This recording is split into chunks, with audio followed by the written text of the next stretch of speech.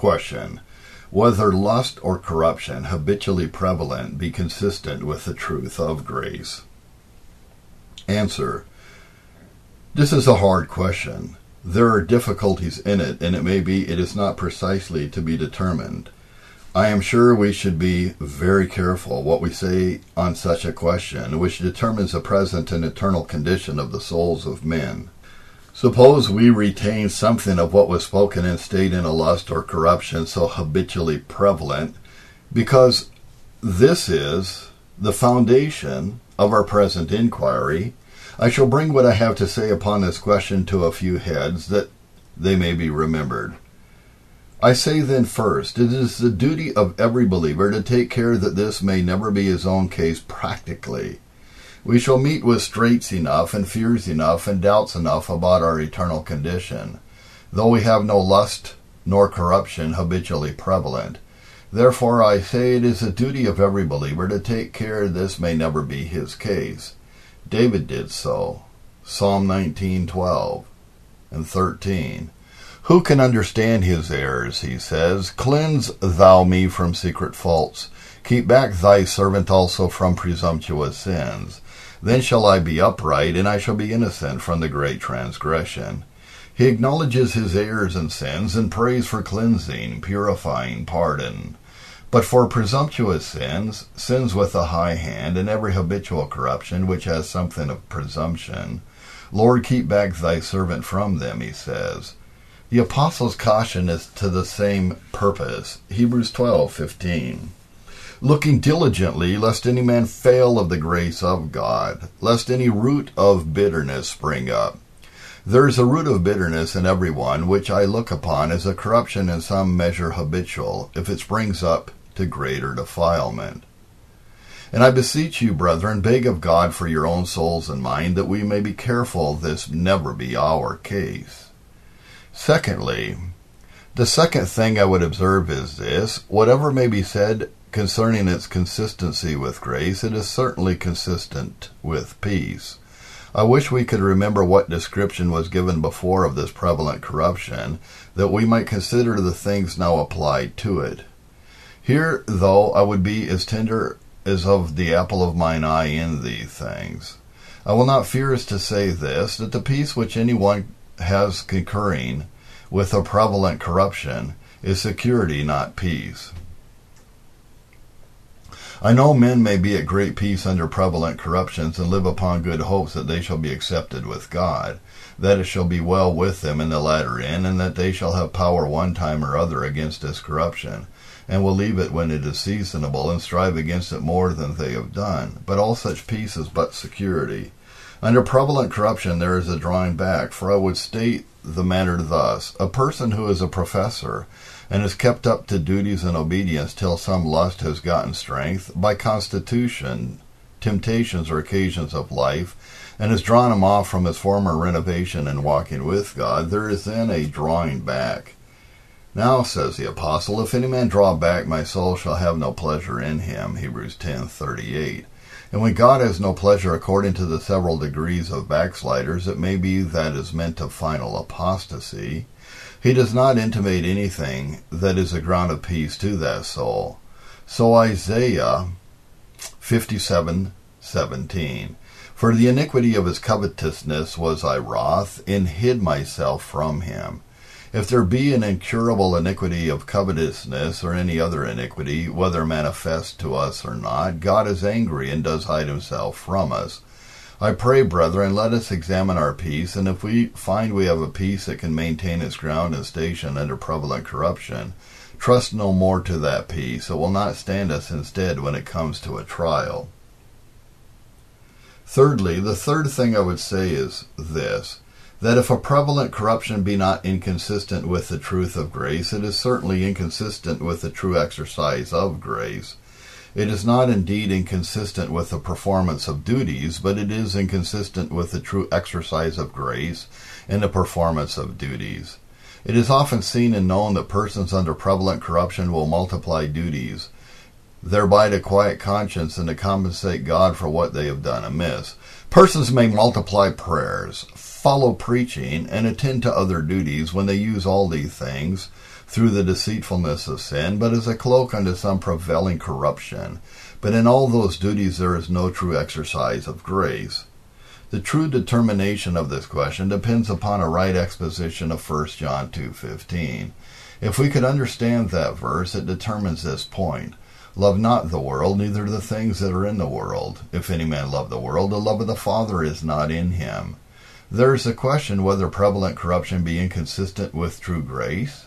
I know the words may have this construction. If any man do make the world his chiefest good, if any man put the world in the place of God, then the love of the Father is not in him. He has either received no love from God, or he has no love to God as a Father in Christ. But indeed the apostle speaking unto believers, I am apt to think, speaks not of the whole kind, but degrees.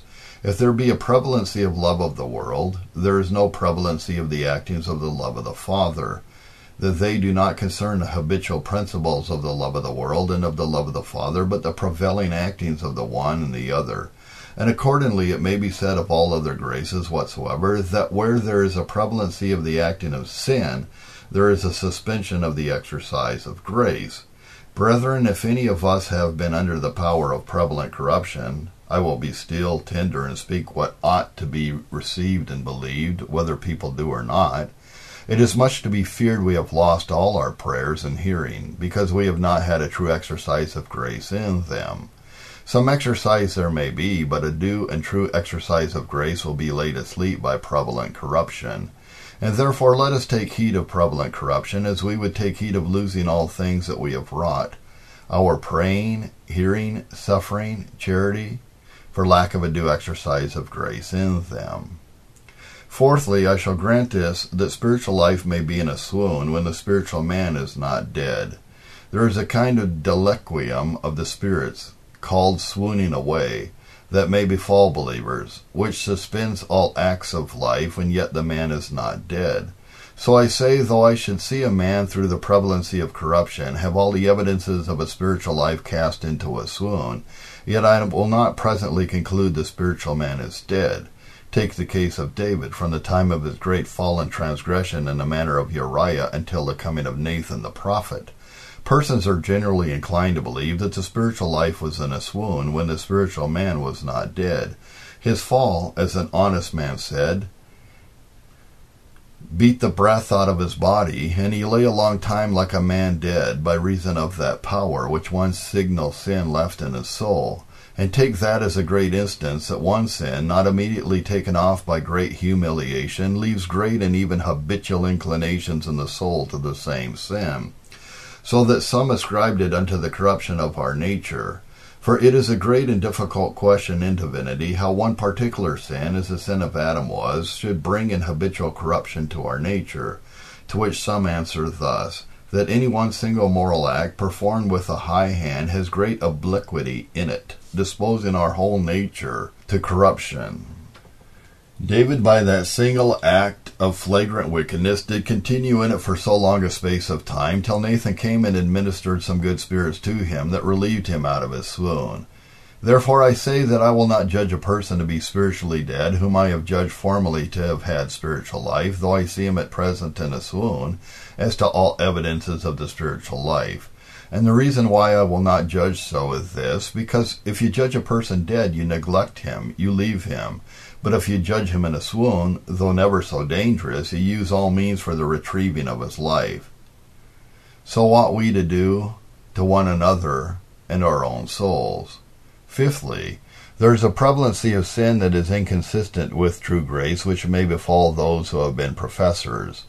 So the apostle doth plainly declare, Romans six sixteen, Know ye not that to whom ye yield yourselves servants to obey, his servants ye are to whom ye obey, whether of sin unto death, or of obedience unto righteousness.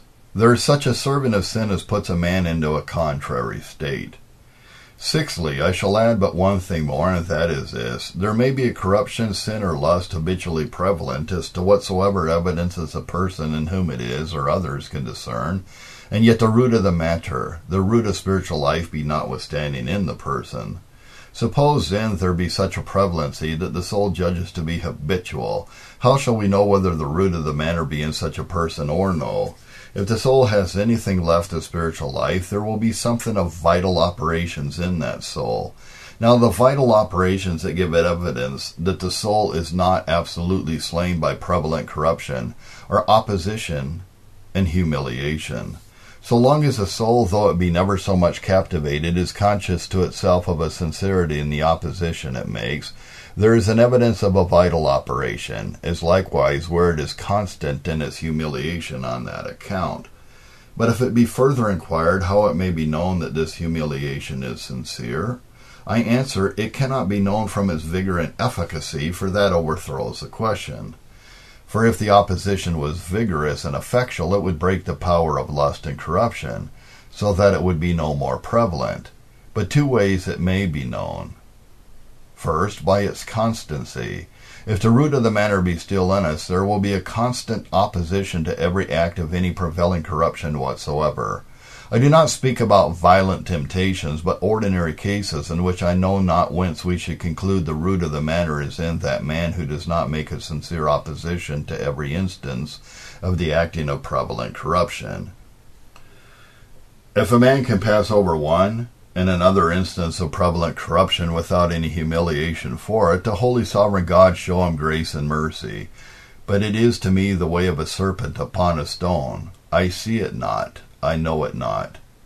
Number two, it is sincere if it be from its proper spring, that is, if the opposition be not from conviction, light, or conscience only, but from the will of the poor sinner. I would do otherwise. I would have this sin destroyed. I would have it rooted out that it should be no more in me. My will lies against it, however, it has captivated my affections and disturbed my course. This is all I dare say upon this question, that there may be an habitual prevalency of corruption, which may seem so to them in whom it is, is also to those whose converse with them, and yet the root of the matter be in them. We may know the root of the matter by the acting of spiritual life, and opposition going before, and humiliation coming after. We may know the sincerity of these vital actings by their constancy and by their spring, if we are constant in them, and if they arise from our wills. Delivered April 19th, 1677.